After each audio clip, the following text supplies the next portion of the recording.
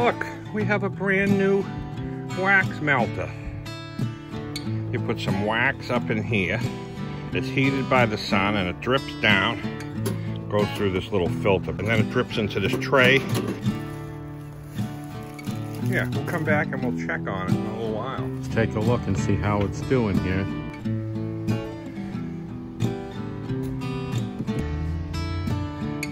And that's what it looks like.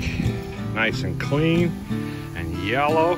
Now this wax was just melted in a double boil, all right? Yeah, this is the beeswax we just harvested. Here we have the finished candles.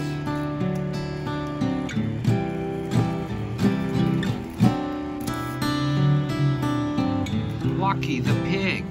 That's one of my favorites too.